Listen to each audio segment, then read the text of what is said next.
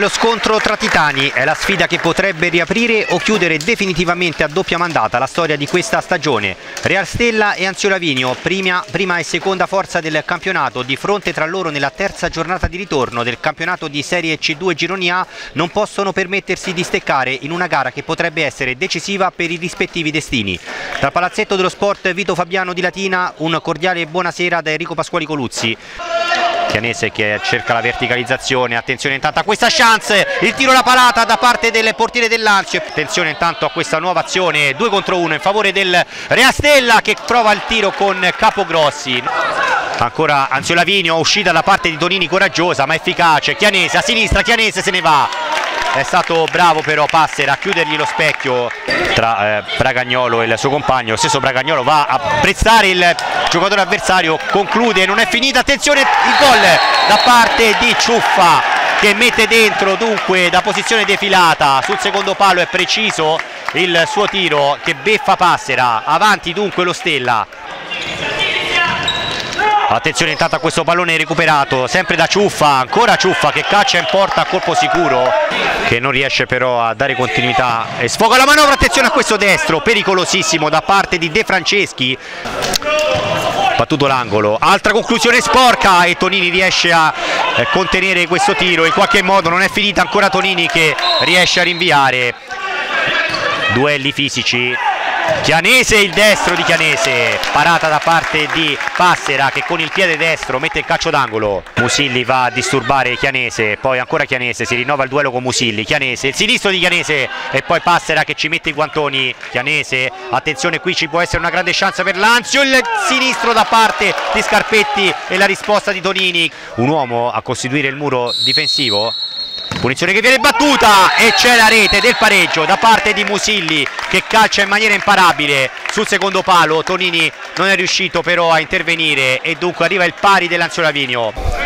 Alle mani sono stati invitati alla calma. Calcio di punizione battuto, il pallone che riesce a passare ma in qualche modo se l'è cavata Lanzio, incredibile chance. Maria Stella che forse ha costruito qualcosa in più ma Lanzio Lavinio ha comunque replicato colpo su colpo. Attenzione intanto a questa prima opportunità costruita da Capogrossi e la risposta ancora di Passera che mette in calcio d'angolo. Capogrossi cerca ancora nuovamente Cesari. Cesari, il numero da parte di Cesari che nello stretto si libera di Musilli e trafigge Passera con un tiro preciso sul secondo palo porta dunque il vantaggio nuovamente lo Stella, il calciatore con la maglia numero 9 e poi ciuffa, spalle alla porta, aspetta qualcuno a rimorchio, poi pensa alla conclusione che effettua il tiro respinto da Passera e poi ancora il tapin di Bragagnolo che è impreciso, riparte ancora la squadra dell'Anzio Lavinio, pallone smistato a destra con Origlia che calcia in porta, Tonini attento e già dall'altra parte con il tentativo da parte di Ciuffa, Passera si salta e mette il fallo laterale c'è De Franceschi intanto che arma il destro e poi Tonini in due tempi riesce a evitare anche il tapin di De Marco. Ciuffa. Non si capiscono anche i loro due poi il sinistro che è stato tentato da eh, De Marco e la parata di Tonini. Vince però il mismatch Scarpetti poi ha cercato l'imbucata al centro. L'anticipo, la rovesciata e l'incredibile salvataggio sulla riga da parte di Vinci. Sembrava ormai destinato a eh, realizzare il gol del due pari che arriva però immediatamente dopo con Scarpetti che segna dunque il pareggio sugli sviluppi del calcio d'angolo. E dunque Lazio Lavigno ritorna nuovamente in parità. 3 contro 2 adesso per lo Stella che cerca il colpo del 3 a 2 che manca però con Chianese da destra. Il colpo di tacco che è stato tentato da Chianese gesto tecnico fantastico. Alla fine Passera si ritrova il pallone tra le mani. Pallone dietro verso Capogrossi che caccia il porta e colpisce un fragoroso palo. A Passera battuta pallone dentro per Chianese che da posizione ravvicinata non centra lo specchio. Ancora il pallone dietro il tiro che termina in rete da parte di Ciuffa che riesce a beffare con questo diagonale velenoso Passera. Ha provato la deviazione con il piede destro ma non ce l'ha fatta però. La sfera ha carambolato sul palo interno e poi è terminata in rete. 3 a 2 dunque per lo Stella. Intanto va a catturare questo pallone. Musilli, Musilli mette dentro il pallone per De Marco che comodamente deposita in fondo al sacco con il sinistro. Ripartenza micidiale contropiede esiziale da parte dell'Anzio Lavinio che trova il pari con De Marco.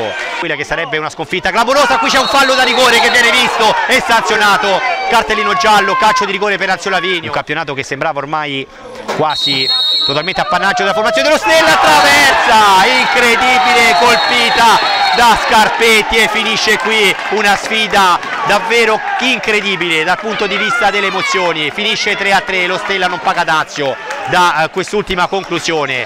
3 a 3 dunque tra Rea Stella e Anzio Lavinio in una uh, partita che davvero rimarrà impressa soprattutto per quello che è successo nel finale. Ed è tutto. Dunque un cordiale saluto e ringraziamento agli amici di Mondo Futsal da Enrico Pasquali Coluzzi e da eh, Emanuele Barsi che ha effettuato le riprese televisive